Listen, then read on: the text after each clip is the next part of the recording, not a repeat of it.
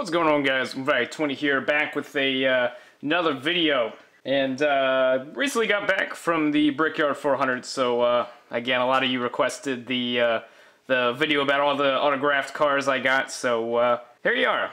So I'll start off with uh, some of the cars I got autographed at driver appearances and outside the garages in Indianapolis.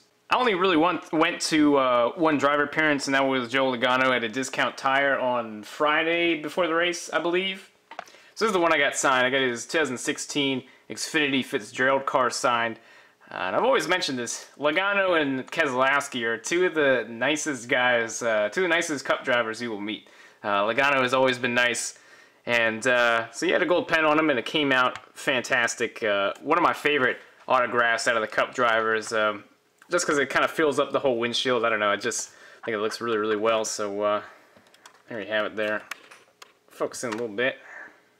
That's always uh, your best bet for uh, for autographs is a driver appearance where you can sit down and they can uh, sign it. Always comes out pretty darn nice. So uh, like uh, I'll I'll start off here and mention how I always know about driver appearances is Jayski's site. They have a page for driver appearances that they update usually daily when it gets close to the weekend. So uh, I always check that. Uh, all you gotta do is search in NASCAR driver appearances on Google, and it should be one of the top two search results. So, so with that, that is that was the only really appearance that I went to.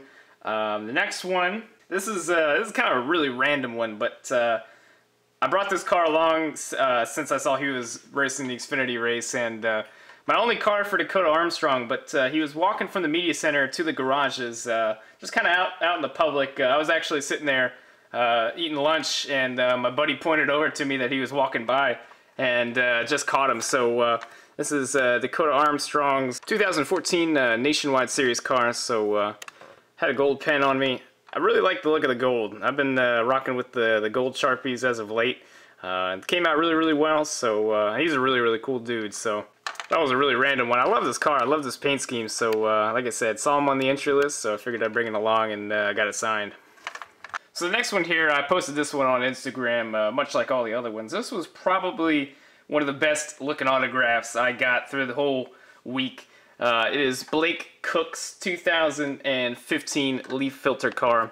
Uh, so I got this done with the green paint pen. I don't know if he's watching, but shout out to my man Brian. We uh, me and my buddy, we met up with him and uh, watched the Xfinity race with him. So we walked around uh, the garages all day with him, and uh, he was kind enough to lend me his green paint pen, which uh, I believe has turned me on to the to the paint pens. Now I've always used just the regular Sharpies, but um, the paint pen looked awesome on this with the green. So uh, Cotton Blake Koch um, actually had cold passes, which for the first time ever, I've, I've had some special passes for a NASCAR race. Um, how I got them I know a guy. I was on pit road for Xfinity qualifying, so after he was done, he walked over the wall and uh, got him there. So, uh, so yeah, it came out really, really cool. Very, very clean. And there you have it. So the next two here, uh, I got behind the garage stalls for the Cup guys. Uh, it's one of the beautiful things about IMS is that unlike most tracks, the Cup guys, their garages are right behind pit road. And the fans can get right behind that. So uh, unlike most tracks where usually the, the whole garage area for the Cup guys are blocked off, uh, they pretty much have to come through the fans to get back to the uh, to the motorhomes or or to their haulers or whatever. So um, so yeah, most of the time you can catch just about everybody. Sometimes you know Jimmie Johnson will will slip through without anybody seeing him uh, some other different way or some other guys. Uh, but you pretty much see everybody if you're going to be there, if you're going to stay behind the garages most of the, the weekend. So, um, so this first one I got here is Clint Bowyer's 2008 Richmond race version. So uh, this is one I wanted to get signed for quite a while. Unfortunately, my Sharpies, they just weren't quite, they didn't quite have it this, this weekend. So a lot of them didn't come out too terribly great. Um, but this one wasn't too bad. As you can see, like it started out good and it, it faded a little bit. But, um, but yeah, not too bad. I can't complain at all. Um, like I said, a lot of them, they came out sort of kind of faded. Um, so uh, none of them came out too too horrible, but uh, but yeah, this is one I've wanted to get signed for uh, quite a long while. It's a fairly hard race version to find now, but, uh, but yeah, there you have it. And then uh, this next one is Kyle Busch's 2015 Brickyard 400 race version. Uh, unfortunately, in the black again. Kyle, Kyle Busch just doesn't care what if you have a pen or not. He just signs it and goes on. I'm not really a diss on Kyle Busch, but like uh, it was at Pocono, I believe. I wanted to get his um, actually. So I got his Elite signed, uh, the Elite version. This is the ARC of his uh, Brickyard car since I was there. Uh, I wanted to get get it signed in silver, and he pretty much fist bumped uh, my my silver sharpie and signed it with the black, and it was kind of the same deal with this. So, uh, you know, it's okay. Most of the time, a lot of the the black sharpies they don't show up very good on the windshield, obviously. But um, I don't know, it's kind of weird. The elite version and the ARC of this uh, didn't show up too terribly bad. So, uh, as much as I wanted it in silver, again, can't complain. So these next couple cars, I would imagine most people probably clicked on the video for. I got to give a huge thanks and shout out to my buddy Diecast Reviews. He was kind enough to hold uh, two two of my cars for Dale Jr. Uh, throughout the weekend and get them signed. So I'll link his channel down below in the description. Go give him a, su a subscription if you haven't already. But uh, I guess I'll do these in the order that I got them. Uh, the first time I caught him throughout the weekend was out of the media center. He did a couple different press conferences because, of course, that was the week right after or the race uh, soonest to when they announced uh, the whole Alex Bowman deal. So um, uh, he did a couple press conferences with Alex Bowman and uh, Rick Hendrick. Unfortunately, I didn't catch Rick Hendrick. I don't I don't know where he went, but uh, I really wanted to catch him. Unfortunately, I didn't. But um, so I got his 2014 Martinsville race version signed. This is the Elite. So there's a look there. All of them came out really, really well. Very, very happy with it luckily Dale Jr. is one of the few that always have a, has a silver sharpie on on him. So um, so yeah, that's one guy you really don't have to worry about autograph wise.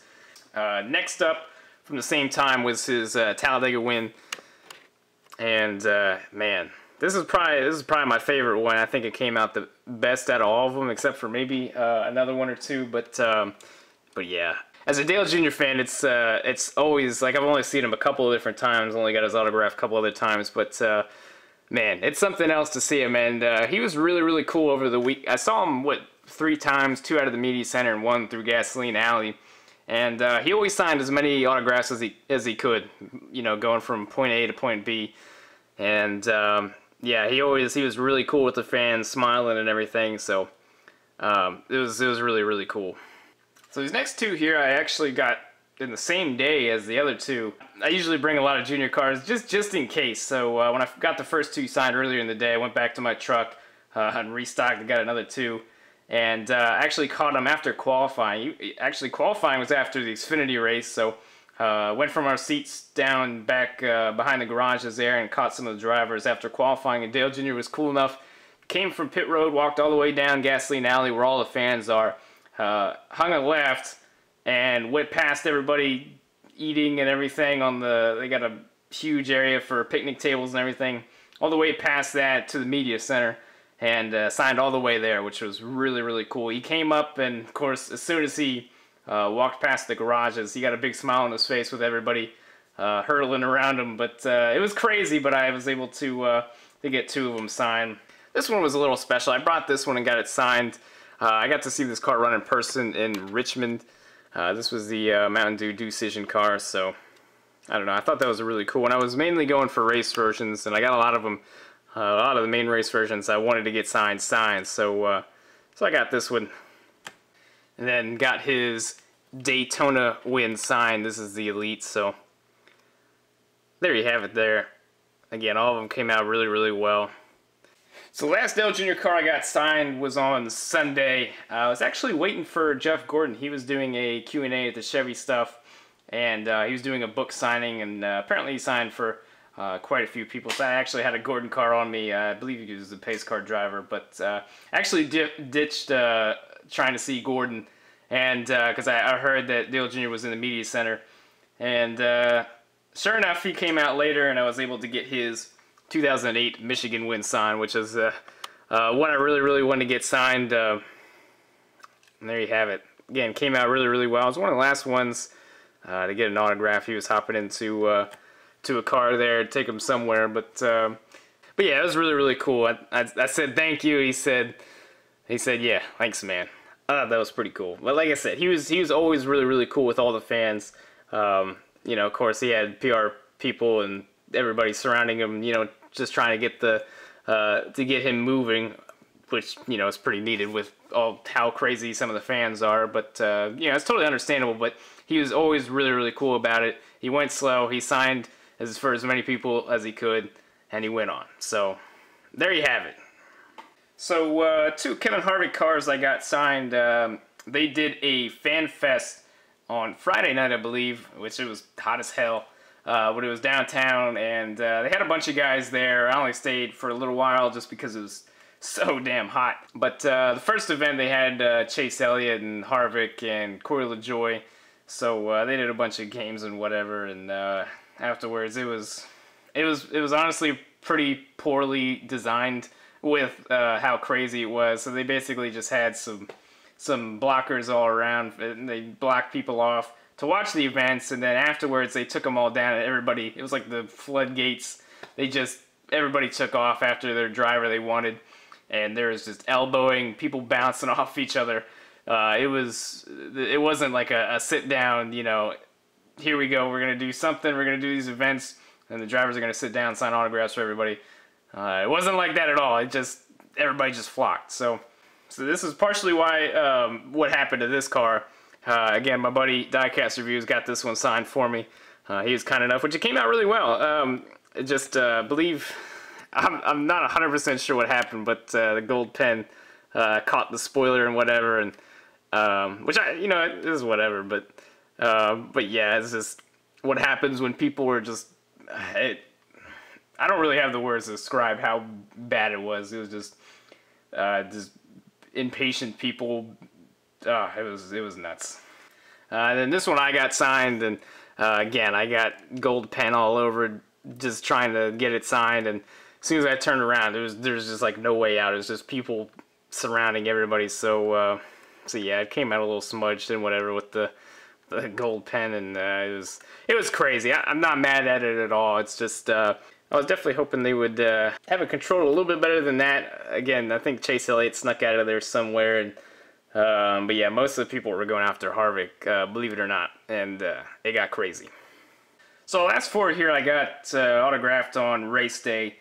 Uh, I waited quite a bit, uh, of course, now NBC broadcasting, so they have the NBC pre-race, whatever you want to call it, whatever they call it.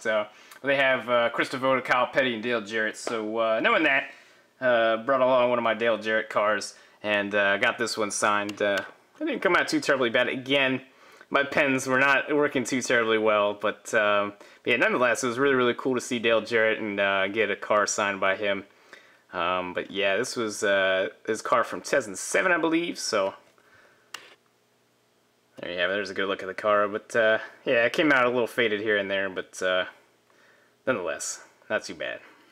Uh, here's one that actually came out pretty well. Uh, the one one car, one autograph that came out surprisingly well with my shitty pens. Uh, Aric Almirola, I got this not too terribly long ago. It's 2017 uh, STP car, so uh, with the correct monster logos on there and everything, so didn't come out too terribly bad. Now this, uh, I caught Dale Jarrett, like I said, before the NBC thing.